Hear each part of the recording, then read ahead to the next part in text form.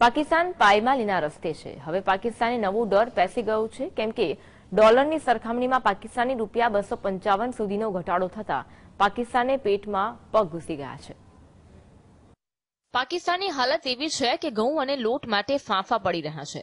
ત્યારે હવે ફરીથી એક નવા સમાચાર મળી રહ્યા છે કે પાકિસ્તાનમાં સતત આર્થિક સંકટ વધી રહ્યું છે.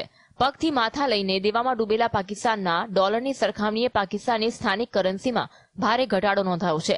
અમેરિકી ડોલરની સરખામણીએ બસો પંચાવન રૂપિયા ઉપર કારોબાર જોવા મળ્યો. પાકિસ્તાનનો ખજાનો રોજ ખાલી થઈ રહ્યો છે અને ત્યાં શ્રીલંકા જેવી સ્થિતિ જોવા મળી રહી છે. શું હવે શ્રીલંકાની જેમ પાકિસ્તાનમાં પણ સરકારને જનતાના વિરોધનો સામનો કરવો પડશે તેવી ચર્ચા ચાલી રહી છે. પાકિસ્તાનમાં એક તરફ મોંઘવારી સતત વધી રહી છે ઘઉં, ચોખા, પેટ્રોલ અને ડીઝલની કિંમતોમાં પણ ભાવ આસમાને પહોંચી રહ્યા છે. પાકિસ્તાનમાં પચીસ ટકા મોંઘવારી વધી ચૂકી છે અને ફોરેન એક્સચેન્જ રિઝર્વ સતત ઘટી રહ્યું છે.